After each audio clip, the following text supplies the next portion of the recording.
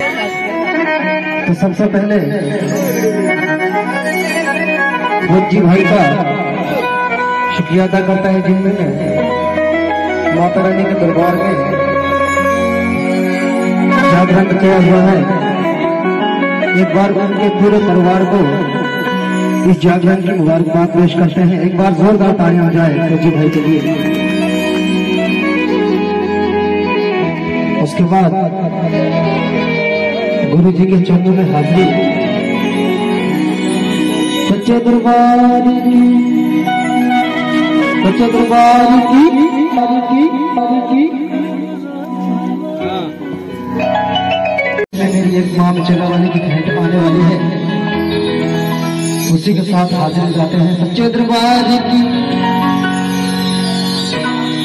वो चलो चलिए पाटरी बचेला वो जिते लगिया माता मेला वो चलो चलिए पाटरी बचेला वो जिते लगिया माता मेला चलो चलिए